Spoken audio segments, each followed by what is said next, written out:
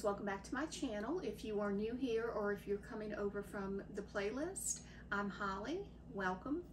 And today we're doing a collab video for Santa Christmas cookies and it is hosted by Valerie from The Hargett Life. She is one of the sweetest women that I've met on YouTube and her channel consists of baking and cooking and also some grocery hauls and things like that. So please check her channel out. Uh, if you love her content, which I think you will, please subscribe to her channel. There will also be a playlist of other YouTubers that are doing this collab.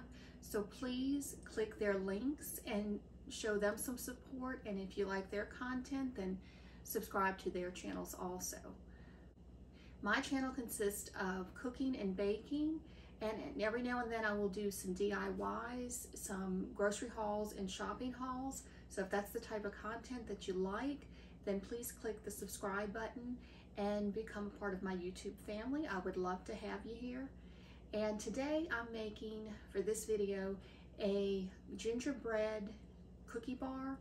And it has a cream cheese and eggnog uh, frosting. So I hope that you would enjoy this video and if you like it, please click that like button. And if you like the content and you'd like to see more of it, just hit that subscribe button. Now let's get started making these cookies. And to make the gingerbread cookie bars, it's very simple ingredients, uh, mostly spices and some extract and molasses but you will need a half a cup of granulated sugar and a third cup of brown sugar packed, two cups of all-purpose flour, one teaspoon of vanilla extract, and three tablespoons of molasses, a half a cup of butter softened or one stick, one egg, and then here's your spices. You will need a half a teaspoon of salt, one teaspoon of baking soda, one teaspoon of cinnamon, a half a teaspoon of ginger, a fourth teaspoon of nutmeg, a fourth teaspoon of allspice. And the ingredients for the frosting you will need one and a fourth cup of powdered sugar, some sprinkles, and the recipe calls for the nonpareils that's what they used on it, but I'm using just these and you can use whatever you'd like. One tablespoon of eggnog, two tablespoons of butter, and four ounces of cream cheese or a half a stick of that. And since the frosting is made with the cream cheese and the eggnog, I do store these in the refrigerator. But if you do not want to make this type of frosting, you can always use store-bought and just anything that would go well with gingerbread uh, cookies.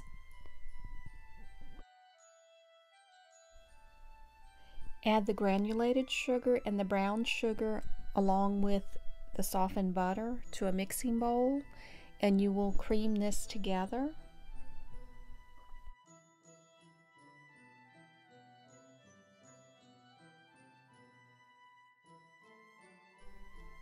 Now add the egg, a teaspoon of vanilla extract, and three tablespoons of molasses. And each time I add a spoon, I will scrape out the rest of it because it is thick. So you want to make sure that you're getting exactly three tablespoons.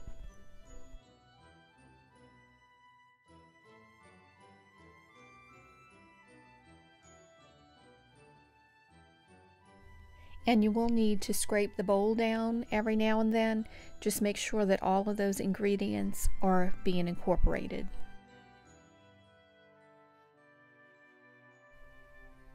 Now, in a separate bowl, add the salt, baking soda, and the spices and just mix it up really, really well. And then you want to mix that into the flour and just make sure that you're incorporating it uh, evenly, distributing it throughout the flour.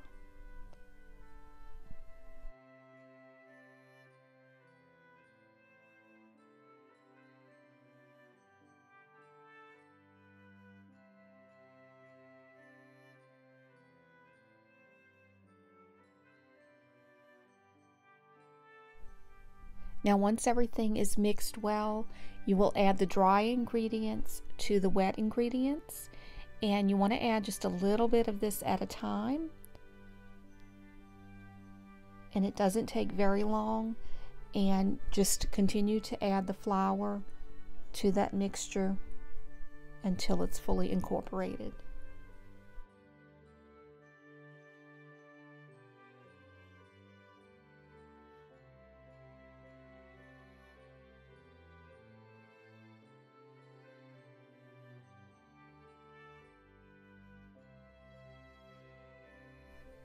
Now lightly spray a 9 by 9 inch baking dish or a pan and just use some non-stick cooking spray. I'm using some of the Baker's Joy that has the flour in it.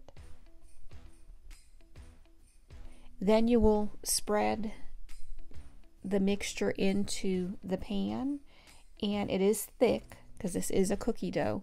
So all you need to do is just put it into that pan and then I usually use a spoon and I will take that to spread it out. It, it's a little bit easier than trying to use the spatula.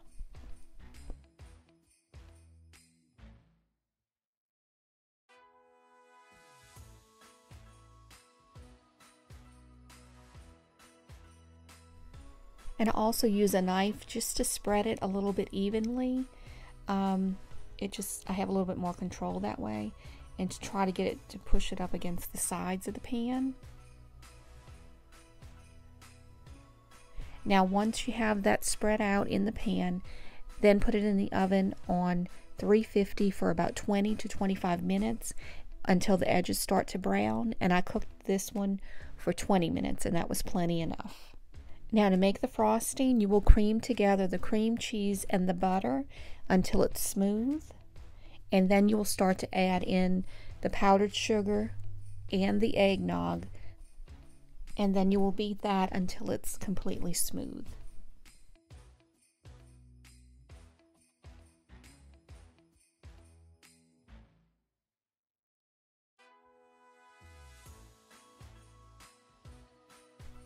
Now I did feel like the frosting was just a little bit thin, so I did add just a little bit more of the powdered sugar to this and just to kind of help thicken it up a little bit.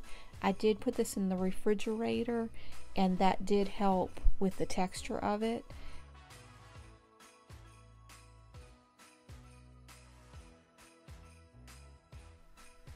And as you can see after having the frosting in the refrigerator for a little bit, it did thicken up and it makes it a lot easier to spread it evenly over the gingerbread cookie.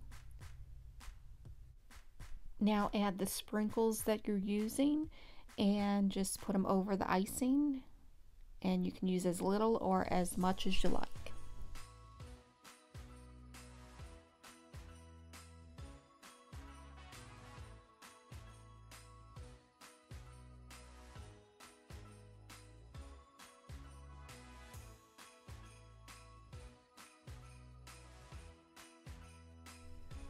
Now you will cut it in four straight rows one way and then you will turn it and then cut it again in four more rows. And it's good to kind of have a little bit of a guide to it. You just mark where you're going to start cutting and that should give you 16 even cookie bars.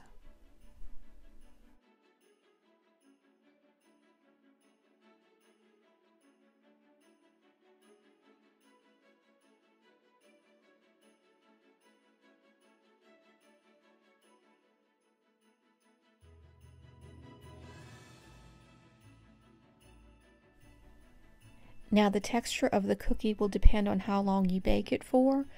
Uh, 20 minutes, it gives you somewhat of a softer cookie. Um, it is, if you cook it a little bit longer, it will be a little bit harder.